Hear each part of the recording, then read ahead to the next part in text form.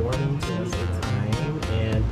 today excited and it's been a while like it's been like maybe if you notice that I will I will wear some tracksuit but future oh my god. it's not actually a future it's actually a vacation